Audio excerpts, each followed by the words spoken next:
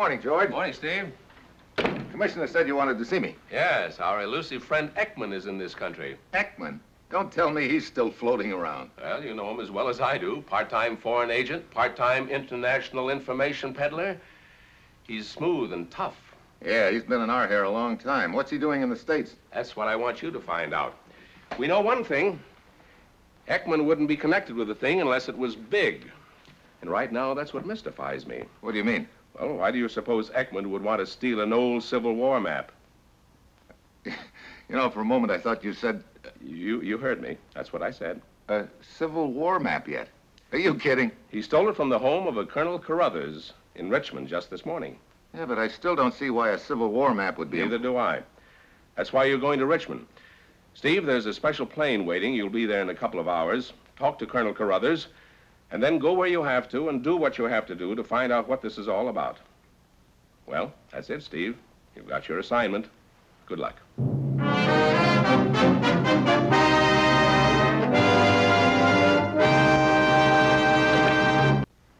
Well, I've had a lot of screwball assignments in my time, but this one takes the cake. Lasso a slippery foreign agent named Ekman and try to find out why he swiped a Civil War map. I suppose the next thing I'll find out is that I'm up against a plot to blow up Chesapeake Bay. Two hours and 20 minutes later, I arrive in Richmond. I head for Colonel Carruthers' place outside the city. Yes, sir? Colonel Carruthers? Mr. Mitchell, I presume? That's right, Steve Mitchell, Colonel. Well, come right in, Mr. Mitchell. Come right in, sir. Sit down. Thank Sit you. down, sir. Are you any relation to Randolph uh, Mitchell of the South Carolina Mitchells? Well, not to my knowledge, Colonel. Well, that's too bad, sir. A splendid family, splendid in a true Southern tradition. Well, I'm sure they are. Uh, Colonel, they sent me down here. Yeah, they told me over the telephone, but I must confess I'm a bit puzzled why they'd send a man from Washington to investigate such a minor theft, Mr. Mitchell. But then the things they do in Washington have puzzled me for quite a spell now. Well, we were wondering if you could give us any reason why a foreign agent would want to steal an old map of a battle in the Civil War. Uh, Mr. Mitchell, we in the South always refer to the incident which you have just mentioned as the war between the states. Oh, I'm sorry, Colonel. As an historian, I've always held that uh, had conditions been a little different, we in the South, Well, there's no doubt about it, but uh, exactly what did this map show? it had to do with the Battle of Fredericksburg, sir. Uh, the Confederate troops under the command of Colonel Indeed, they were. What was the date? uh, December 1862. It began just before sunup. It was a miracle of military strategy, Colonel. Thank you, sir. Thank you. Uh, this map was uh, just a rough sketch, but it was actually used by our army, and that made it of value to a collector. I see. Uh, did you know this man, Ekman? He was a scoundrel, sir.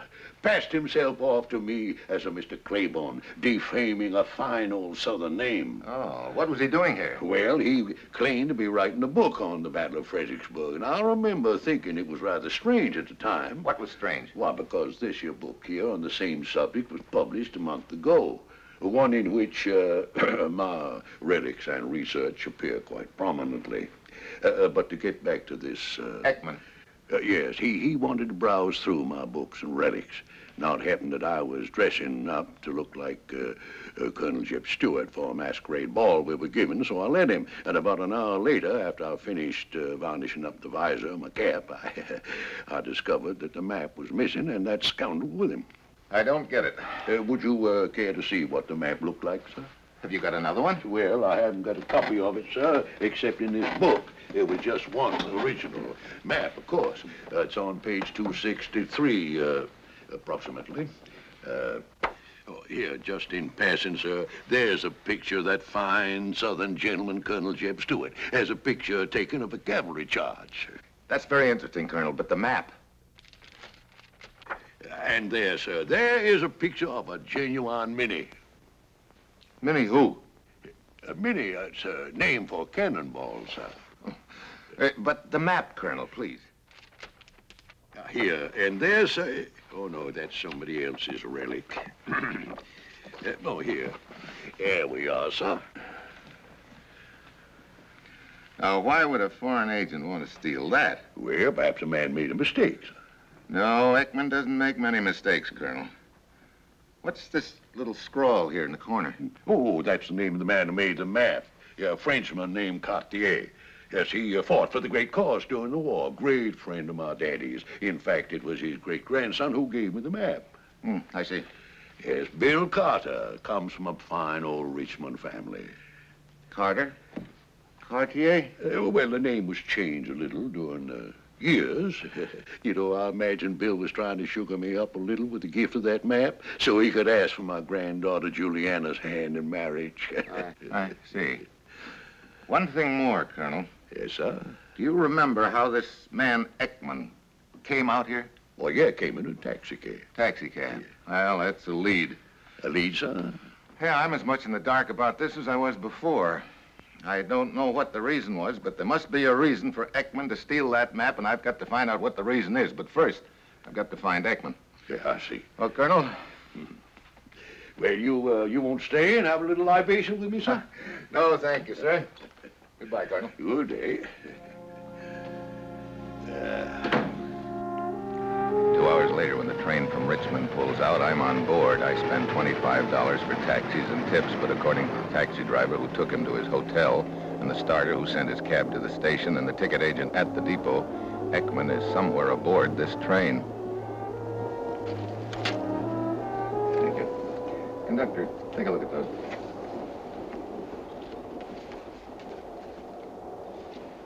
What can I do for you, Mr. Mitchell? Sit down if you get a minute. Conductor, I'm looking for a man named Ekman. I believe he's aboard this train. Ekman? You know what uh, sort of accommodations he has? No, there you got me. Well, of course, if he's in the chair car, we wouldn't have a record of his name. Doesn't seem to be on our list of compartments or drawing room. Well, he uses several aliases. He used one this morning in Richmond, Claiborne. Claiborne? Got a description of him? Yeah.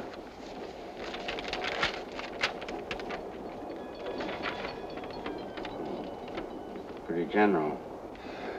That's the trouble. Ekman has a face you could lose in any kind of a crowd. He's made a fortune by looking like that. Got a pretty good crowd for him to get lost in this trip. Pretty full, huh? Yes. However, I'll uh, pass this information on to the waiters and the porters. I'll check with you if I find out anything. Fine. Uh, by the way, we're going straight through to Miami, huh? That's right. Does that make sense? this uh, Ekman, think he'd be headed that way? Timbuktu, to Miami, right now. Nothing makes sense in this deal. Well, make yourself at home in the club car, Mr. Mitchell. Thank you.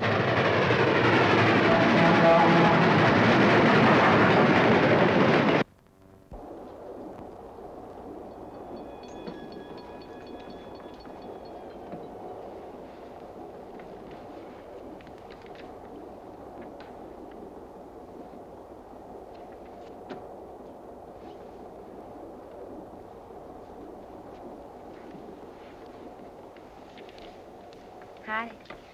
Hi. I always feel a girl shouldn't sit and drink alone. It just doesn't look right. Of course, I haven't got a drink. Bartender? Well, now you're not alone.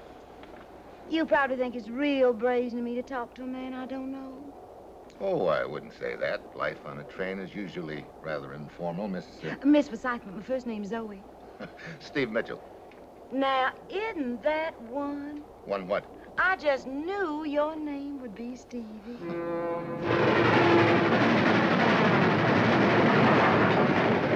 Poor little helpless girl like me needs friends wherever she is. Helpless? Oh, but I really am, Stevie. Why, you wouldn't believe it, but I can't even seem to get that little old door on my compartment lock. Compartment B, that is. Oh? No, sir, I just can't make it work right. Isn't that awful? Well, uh, As a matter of fact, I think I'll go try it again, but I just know I can't manage to make it work right. Maybe sooner or later I'll find me some nice man who can help me. I don't doubt it. I'll be seeing you.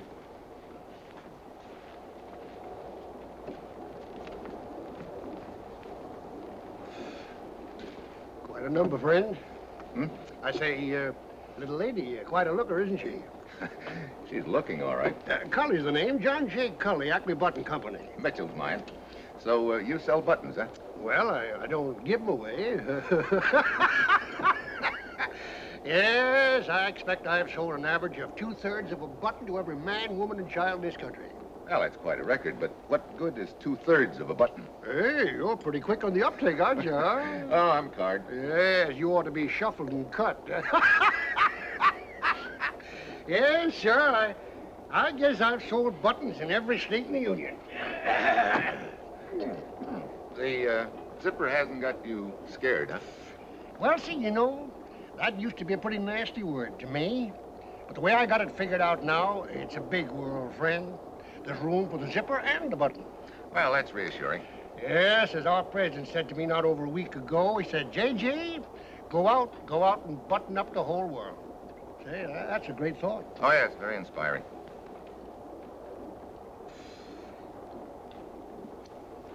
Excuse me, Mr. Cully. Sure thing, friend.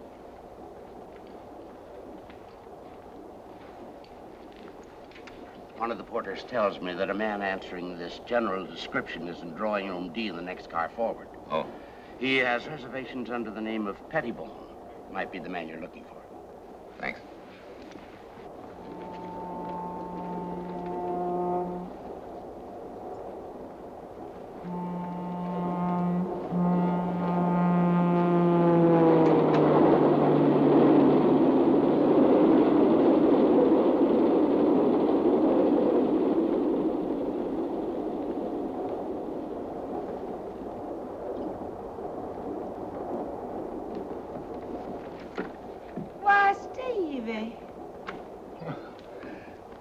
Magnolia Blossom. I thought your compartment was B.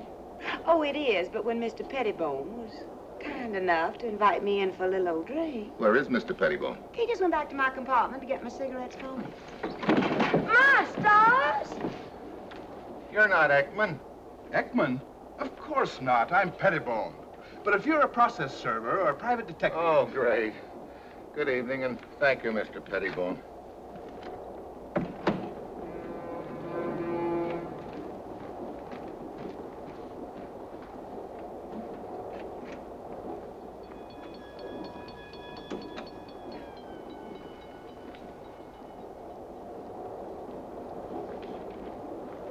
Sure same man?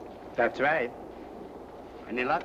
Yeah, all bad. I may have a lead for you. Yeah? The waiter just told me that a man answering this description ordered his dinner sent into compartment G. Same car, just after we left Richmond. Okay, I'll try again. Thanks.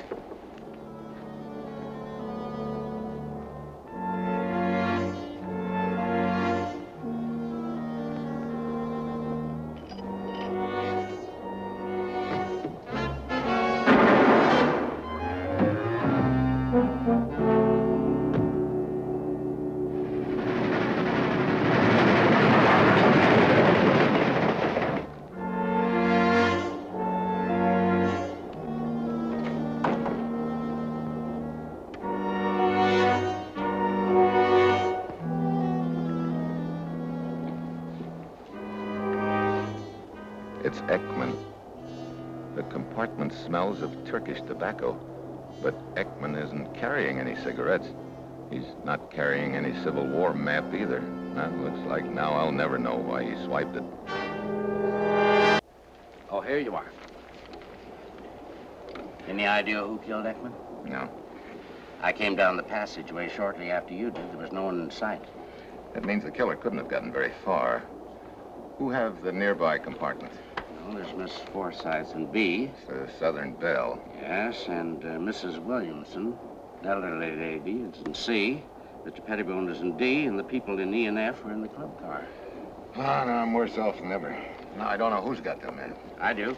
Who? You have.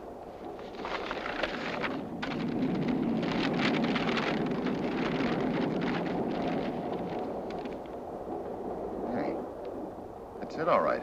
Where'd you get it? From the steward. Ekman gave it to the steward to lock in the dining car safe. I thought I'd better take a look and see what is in it. What's so important about it? There you've got me. Just a rough sketch drawn 90 years ago by a guy by the name of Cartier. Now. So. Now I've got it, but I still don't get it. Did you lock Ekman's compartment? Yes? Well, now that my head stopped jumping around, I'd like to take a look around there, see if I can find something that might give me a lead. I'll be with you as soon as I make up a wire to Miami. I'll meet you in ten minutes in Ekman's compartment. That'll give me time to have a little talk with the Southern Belle.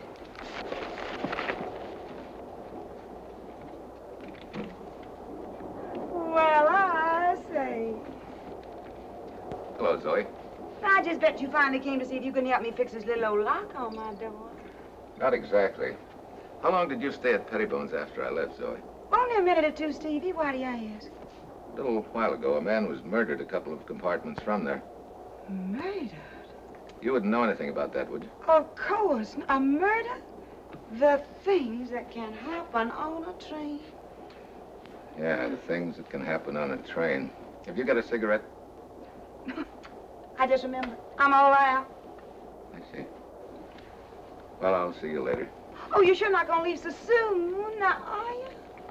Be brave, honey child.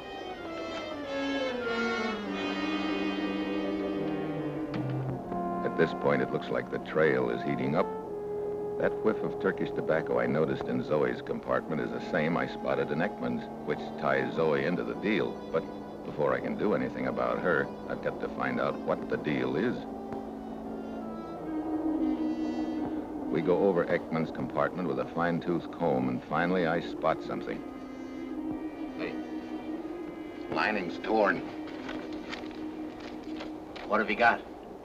Letter from Havana addressed to Ekman. Signed by a guy by the name of Corelli. Mentioning certain interests that will pay for proof. Proof of what? Doesn't say. You think this uh, Civil War map has any uh, connection with this thing? It could be the proof that that Corelli mentions. But proof of what? Hey, wait a minute. We get to Miami in the morning, don't we? Yes. Just a short hop by plane to Havana. I got a hunch that Corelli's gonna have a call paid on him by Ekman's partner. But Ekman is dead. Mm-hmm. You know who his partner is? No. Me. The Miami police promised to keep an eye on Zoe, so I grab a hop to Havana, check in at my hotel, and send word to Corelli at the address I found on the letter in Ekman's pocket. It isn't long before I get results.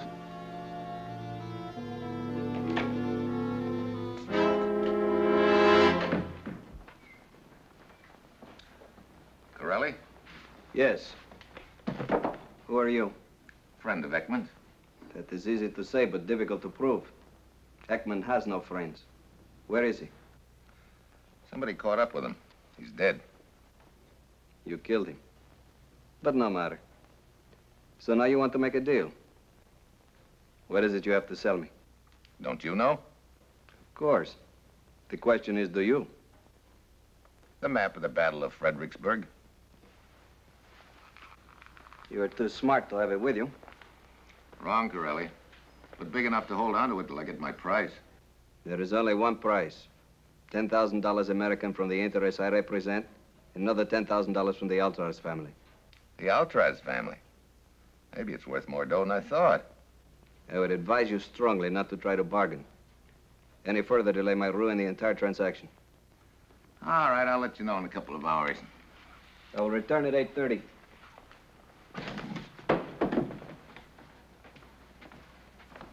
And if you do not have the map for me, I'm sure the parties I represent will have something for you. I will not insult your intelligence by telling you what.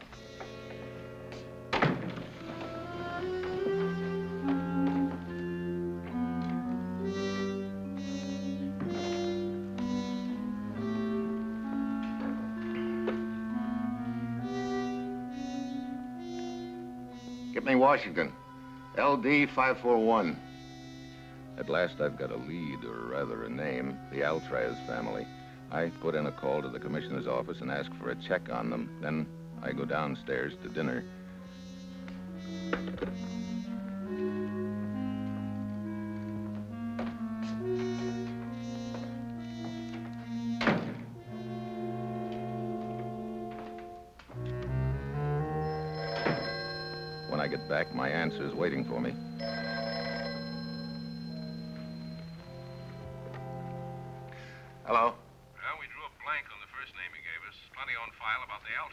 Okay, George, let's have it. The Altraz family has been a thorn in our side for some time. Especially Mrs. Altraz. She owns some property in the Middle East that has a chromite mine on it. That's the stuff they use in making steel, isn't it? Yeah, it's in short supply and getting shorter. We need all we can get. We wanted to lease the mine from her, but she'd already leased it to unfriendly interests. Her husband was willing to go along, but she said no. She owns the land, so there you are. I see. How did Mrs. Altraz get the land in the first place? According to our information, she inherited it from her great uncle, whose only son was lost at sea on the way to America. So old Mr. Cartier left the land to Mrs. Altraz, and uh, Did you say Cartier? Mrs. Altraz's maiden name. Does it ring a bell? A fire alarm. And where there's a fire alarm, there's usually smoke. Well, that's one way of putting it. Anything more I can do to help? I'm afraid you're too far away right now, George. What? I'll check with you later. I hope. All right, Zoe. You can come out now. You got the wrong party, friend.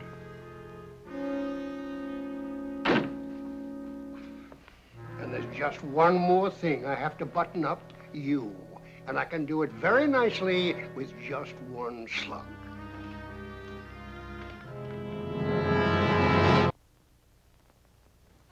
Reach in your pocket real gentle I can pull out that map and hand it over. You know, it took me a long time to figure out why that map was so valuable to Mrs. Altraz and the Middle Eastern interests that she rents that mining land to. The map proves that she doesn't own the land, right? Right. That's quite an interesting little piece of paper, isn't it, friend? It sure is.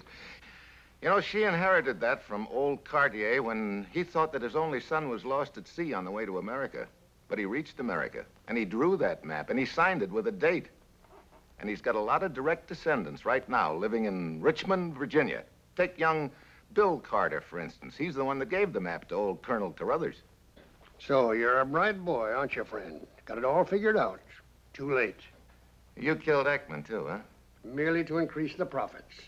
Originally, it was going to be a three-way split. You, Corelli, and Ekman. Now it's a two-way split, huh? One-way split. I'll be gone before Corelli arrives. Hey, you're a real go-getter. That explains the Turkish tobacco smell in Ekman's compartment. You were leaving, you heard the conductor coming down the passageway, so you ducked into another compartment. Zoe's. She was with Pettibone at the time. Now, look, friend, Storing's not going to do you any good. Now, just trot out that map and hand it over. I haven't got it on me. Well, give me that. I've been over these rooms. You haven't been as thorough as you thought, button boy. It's over there. No sale. I've been through those drawers. You weren't quite as thorough as you thought you were there, button boy. You see, it's taped to the top of the partition between the drawers. I think it's in that drawer right there.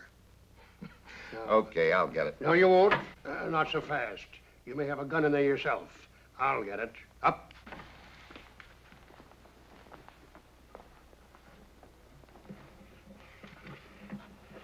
Ollie, Corelli. Is this another double cross? Oh, now, Corelli, you know me. We're friends of long years standing. I wouldn't double-cross you.